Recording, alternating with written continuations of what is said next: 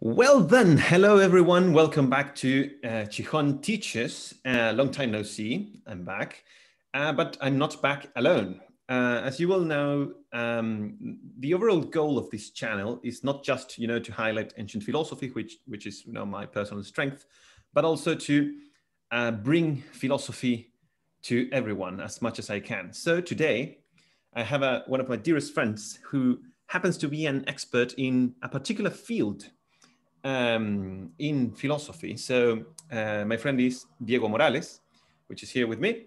Uh, so hello, Diego. Hello, everyone. It's a pleasure to be here. Great, great, great. So um, today, um, well, first of all, I will let Diego to introduce himself, uh, give him some time to, you know, uh, explain why is he here, and also, yeah, just tackle uh, the first of the questions I have for him. So please, Diego, who are you? That's the first question for you. Quite difficult question, but uh, I will try to give the, the simplest possible answer. Um, well, I studied philosophy during my BA, and I recently uh, finished a master's degree also in philosophy, which was focused mainly on several aspects of analytic philosophy, one of the topics that we will discuss today. And my main area of research right now is an area called philosophy of mind, which tries to uh, investigate which what is the nature of the mind and of our mental activities and how these are related to the brain. So it's a pleasure to be here in your channel. I am looking forward to your questions. All right. So I, bet that for many, um, some of the words you just said, um, you know, are sort of new, or at least uh, not in isolation, but just together, um, such as analytic philosophy. Because um, for people who are more acquainted with philosophy, yeah, we sort of have an idea uh, what this means. But um, I think it's much better to bring someone, or to, yeah, to have someone explain to everyone in the simple terms. Okay, what is analytic philosophy? Well, uh, that is the million dollar question. I would say that there is consensus that this is a, a fair question, but there is no consensus on the answer. Uh, hmm. and this is because analytic philosophy, uh, it's very difficult to characterize. Uh, I think that a good starting point is to uh, say that it is a sort of philosophical tradition. It is not properly speaking a school because there is no common uh, research program in which the uh, participants of this tradition ascribe to. Um, this is some sort of loosely based uh, affiliation to a certain way of doing things. Okay. Um, what kind of things? uh, that that's another that's another excellent question. There is no consensus on which are the things that should be considered when doing analytic philosophy. Mm-hmm. But I think that maybe a very short or brief historical introduction might give us some highlights or some uh, oh. uh, interesting aspects um, of analytic philosophy. Mm, I would say that uh, it is possible to trace the origins of analytic philosophy to the works of people such as Bertrand Russell, George Edward Moore, and Rudolf Carnap, among others, um, during the early decades of the 20th century. Mm-hmm. The loosely shared aim of these people was to analyze complex views and ideas using the tools uh, offered by symbolic logic. And this kind of logic mainly developed by Gottlob Frege, also by mm-hmm. Russell himself and by Alfred Whitehead, uh, allowed philosophers and logicians of the time to provide a formal presentation of complex forms of uh, reasoning and the internal relations of the propositions that we generally use. Mm-hmm. The initial success of this procedure is what gives rise to the name analytic philosophy, because one right. of the tasks of the employment of uh, symbolic logic was to perform an analysis that is a sort of breakdown of this complex idea. And this procedure and its success highlighted the importance of uh, logic in uh, for reasoning in general and for delivering rigorous uh, and a clear uh, research output. Mm-hmm. It, it is very interesting what you're saying because uh, normally among people who are more acquainted with uh, these developments in philosophy, uh, but that are not really into analytic philosophy in particular, um, they get this rep- reputation you are highlighting that okay, you know, analytic philosophy is these guys who formalize everything in terms of logic, uh, and that's it. But uh, is that still the case right now? What what would you say? I would I would say that the importance of logic has not abandoned the the the the minds of those who call themselves analytic philosophers and I would also say that uh, the importance of logic has acquired a sort of methodological meaning. Uh, logic is used as a sort of tool or instrument uh, as an organon, as we would, as, as, people working in ancient philosophy would say. Um, happy with this word. And the the aim of using this tool is, as I mentioned before, to deliver the clearest and most rigorous research output possible. Mm-hmm. So the use of logic and the central role logic uh, aims to to to deliver in in analytic philosophy is mainly a methodological uh, role. Um, even though uh, it must be said, logic itself is also a research topic. There is an area of analytic philosophy called uh, philosophy of logic, in which logic becomes the subject matter or the, the topic of research instead of only a methodological tool. Hmm, I see, I see. All right. So, um, what would you say um, then if there's no consensus, but rather, okay, they started as logicians and, and as people who were analyzing both logic and language, even.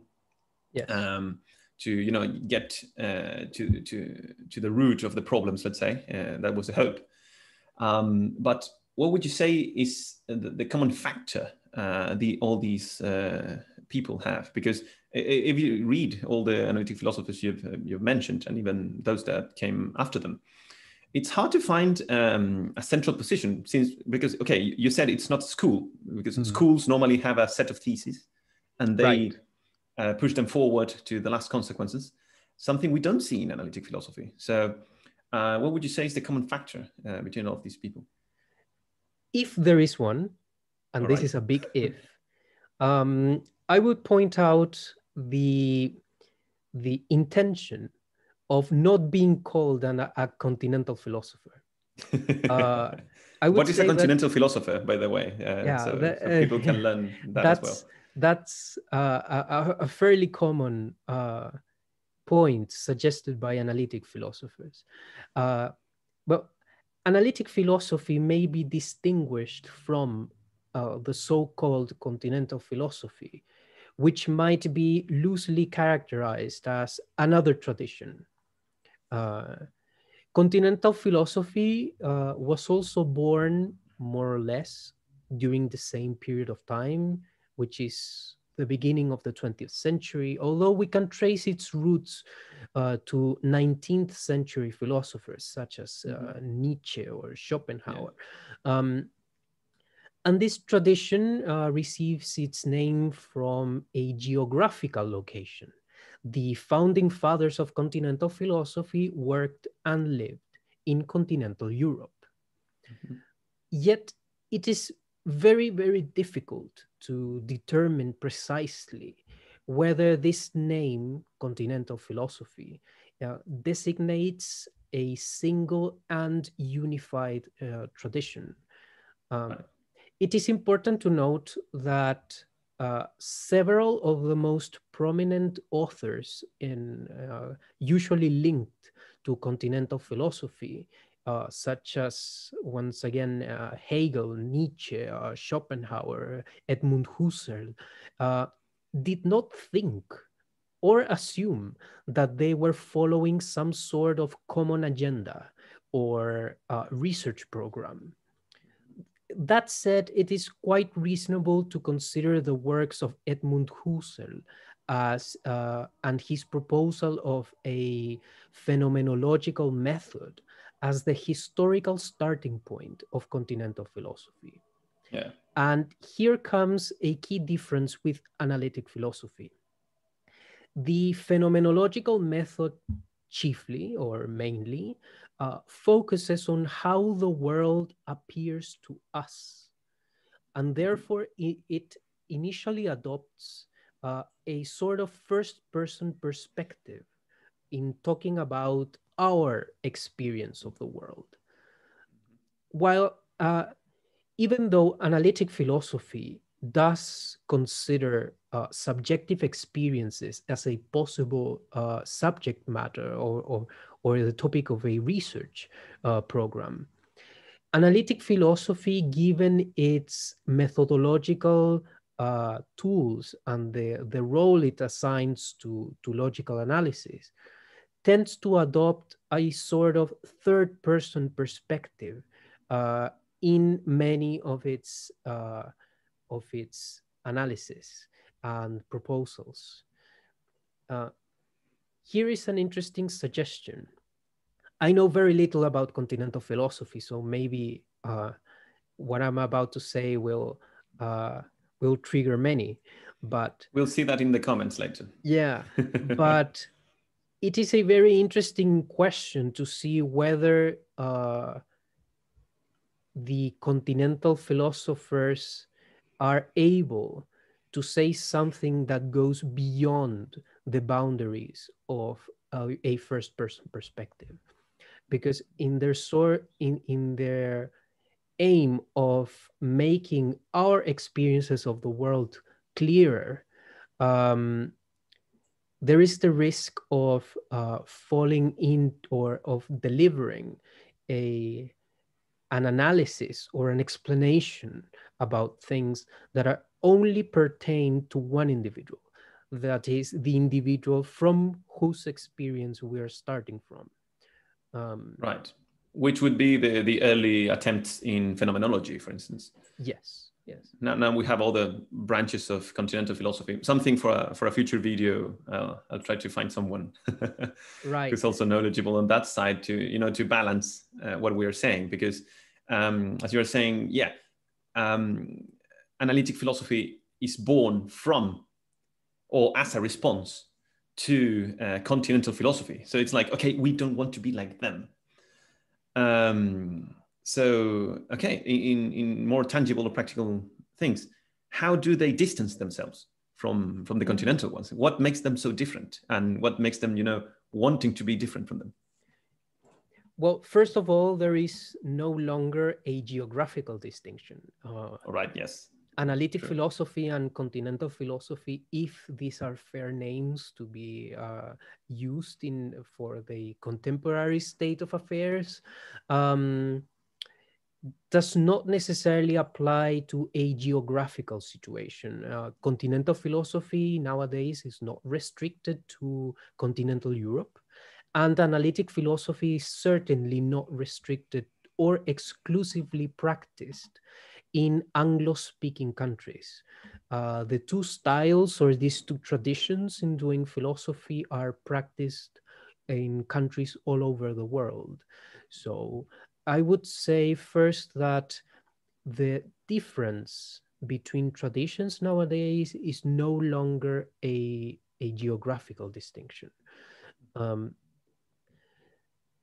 the the strongest point or or the strongest uh, candidate to be a difference, I would say is this uh, distinction between first person perspective and third person perspective, because uh, both traditions more or less cover or investigate the same topics. Right. We can yeah. find ethics in, in both traditions or moral research in both traditions. Both traditions also do research in logic.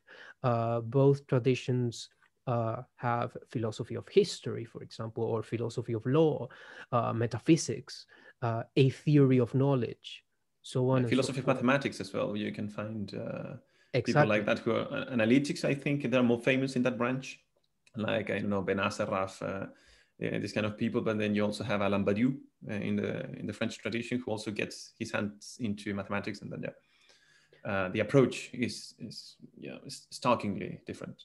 Exactly. So I I I wouldn't put uh, the sort of research program or list of topics uh, that may be uh, investigated as a key difference. The difference seems to be methodological and the difference seems to be in uh, how much faith can we put into the third person perspective. Right. because it is clear to me that we have uh, a first person perspective. Th- th- that is fairly obvious. Uh, I, I think that the challenge for analytic philosophy is trying to show that we can go beyond that first person perspective and that we can find some sort of common ground uh, upon which uh, build some sort of notion of objectivity for example uh, or or try to ground the validity of certain reasonings. Um, in this sort of common ground. Uh, I would say that many, not all, of course, there must be exceptions, uh, continental philosophers are skeptic about the possibility of achieving uh, a very strong third person perspective, uh, mm-hmm. strong enough to ground, for example, an interpersonal or not, not interpersonal, but an um, a sort of metaphysics, for example, or ontology that doesn't depend on our standing in the world. Um, right, which was Husserl's, for instance, main difficulty when trying to to build an entire system from this uh, right. essential of the of the external world. Yes, yes, yes, I understand. Now, okay, uh, one question that we didn't have in, in agenda, let's say that, but now I think about it. Um, there's some languages um, because I know that people who watch this channel are also some a number of them are polyglots. And um, when I think, for instance, in in French as a language, uh, for cultural reasons and also what is regarded as a in, as an intelligent or well cultured style, um, you need to phrase things in more complex ways, or maybe using complex terms, or by being um, extensive, let's say, in, in, in the way you, you say things. Uh, how much do you think that language influences um, uh, or has influenced uh, the particular style or philosophical development in each of these uh, countries have, have had? Because if you think of English, it's a fairly straightforward and very economical uh, kind of language. Mm-hmm. So um, it's no surprise to me to see this correlation between a very uh, direct and concise language with the uh, emergence of uh, analytic philosophy? I would say that the current state of affairs in which analytic philosophy is mainly uh, done in English, um, it's not because English has a sort of special property that uh, renders it more um, accessible or compatible with analytic philosophy. I think it's uh, the use of English in analytic philosophy may be simply explained due to historical reasons, but not due to uh, deep reasons concerning the syntactic or semantic structure of the language. Uh, the same goes for the languages in which uh, the founding fathers of continental philosophy did uh, their their kind of research. uh, German and French do not possess special properties that make them more compatible with uh, continental philosophy. Um, so um, I would say that the correlation between one tradition and a certain language is uh, purely contingent and it, mm-hmm. and it may be explained due to historical and geographical reasons, uh, especially uh, the ones pertaining to the moments in which these traditions originated. Mm-hmm. All right. Yeah, so just a pure correlation, let's say. Right. That, that, could, that's your view. In... Uh, that said, you could, in theory, do uh, or perform analytic philosophy in French. It's perfectly mm-hmm. plausible. Uh, or or analytic philosophy in German, um, and there there would be no problem about it. Um, mm-hmm. And you could uh, write and do research in continental philosophy in English. So yes, there's no. As it happens in the UK, for instance, as I as precisely. Okay. All right. So one last thing, uh, because um, well, as you well know, um, many many of the people who watch uh, this channel also are uh, passionate about uh, ancient Greece. Um, so uh, I would like now to share experiences because uh, from your side, from from the from the side of analytic philosophy, um, what do you think um, analytic philosophy can say or can contribute to uh, the studies of um, of ancient philosophy in this case, and and then I can tell you what's been my experience here. Because uh, for those of you who don't know, uh, yeah, I'm I'm studying uh, now my PhD in the UK in ancient philosophy. So uh, I may have some things to say, but I want to our interviewee to to have his own standpoint, and then we can compare. Right. Um, I would say that uh, the main contribution of analytic philosophy uh, to ancient philosophy or, or to the field of ancient philosophy is uh, mainly methodological. Uh, analytic philosophers are, or were at least the ones at the beginning of the 20th century, very interested in uh, clarifying as much as we can uh, what we want to say. Um, in fact, many many traditional problems in philosophy were considered to be uh, pseudo problems or only problems of language given yeah. our um, inability to express ourselves in a precise and clear way uh, yeah. so um, the idea of employing logic to formalize our ideas and to express them in a more clear way is a sort of theme that is constantly present in in in, in the works or or kind of research that people in analytic tradition uh, would like to attempt. And that theme may be perfectly applied to someone doing research in uh, ancient philosophy uh, so that will be the first uh, aspect and the second aspect is not only logical.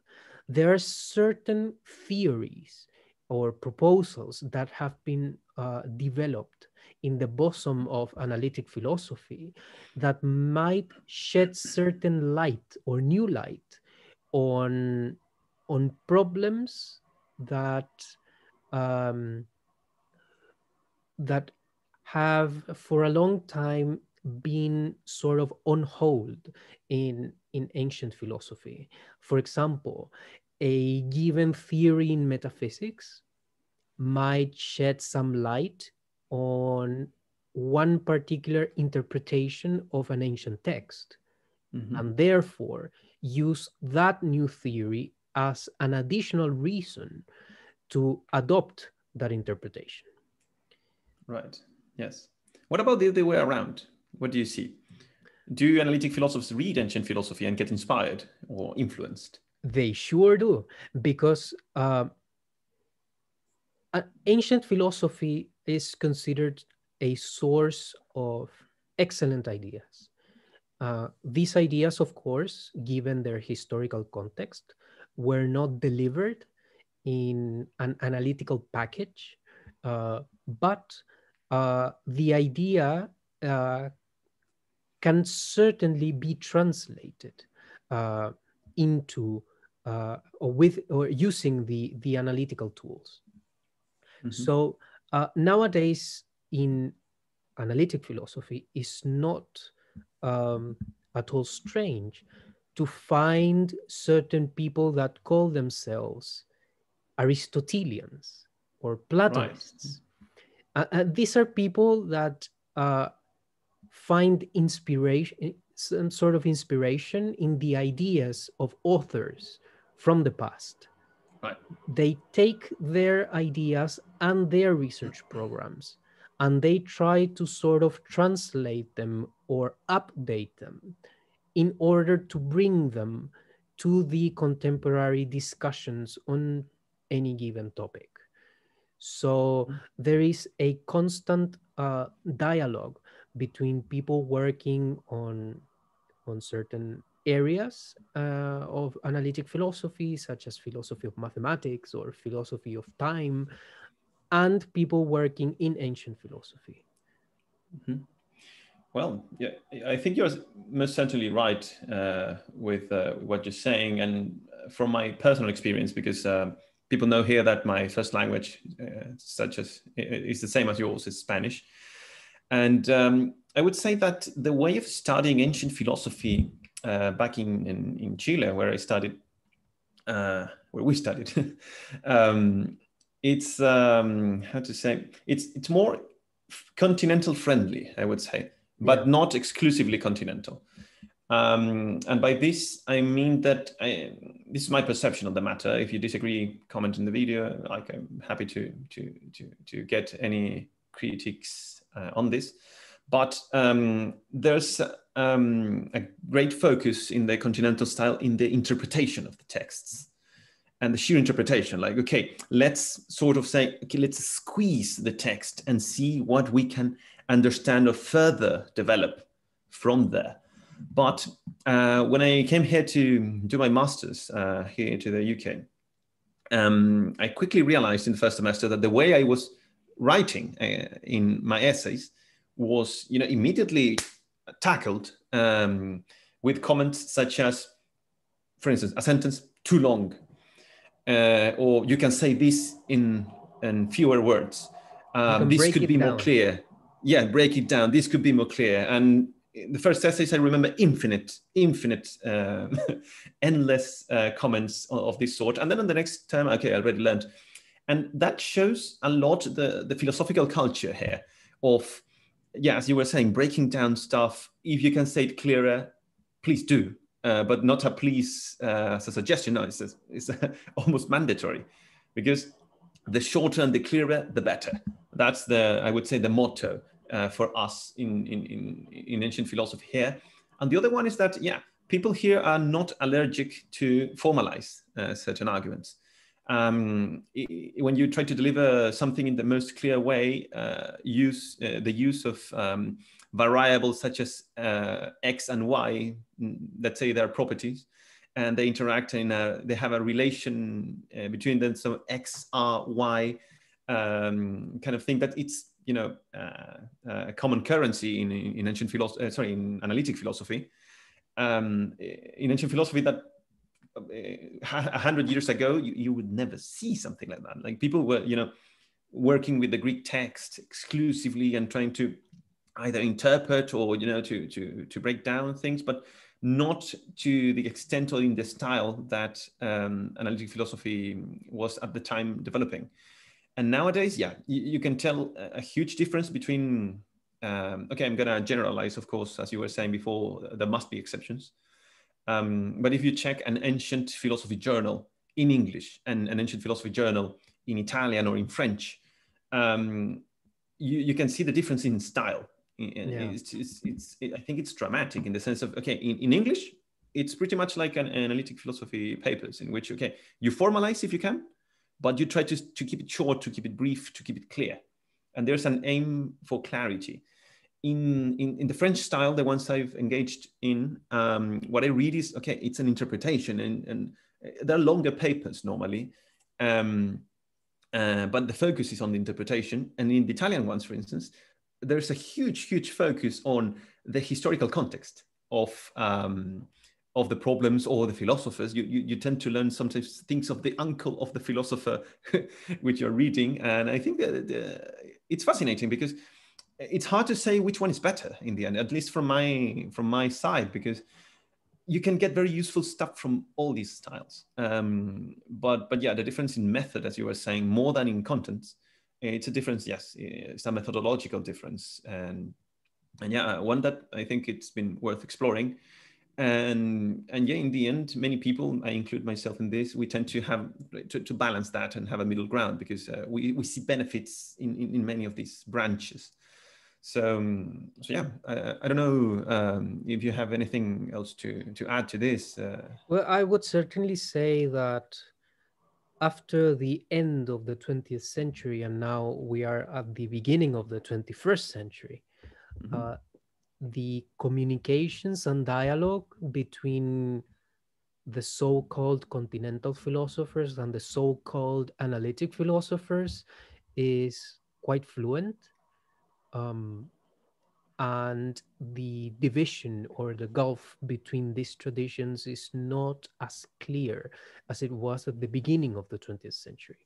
In fact, yeah. I have also encountered uh, many people who have suggested that both of these traditions may complement each other because they are simply different layers of analysis or, or different layers of research on the same topic.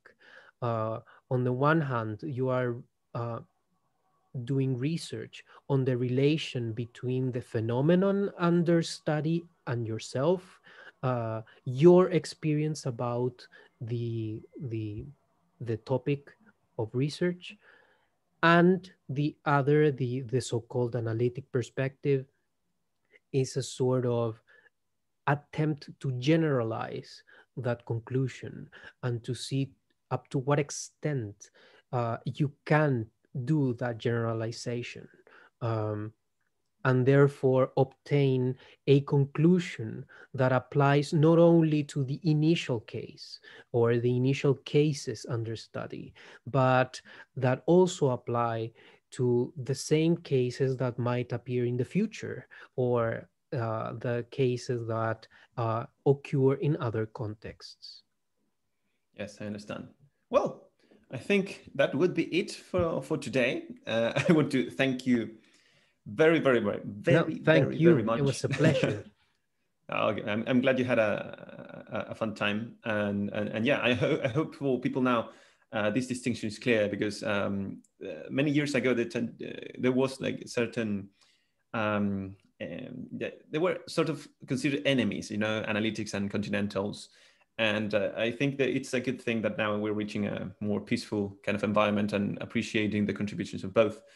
Um, so yeah, I hope this was clear for everyone. I want to thank again Diego for uh, his presence and his insights. Always, always a pleasure. And yeah, okay. See you everyone next time. And uh, yeah, please leave comments if you have any questions, critiques, or anything. I'll try to reply as soon as I can. Bye Thank bye. you. Bye.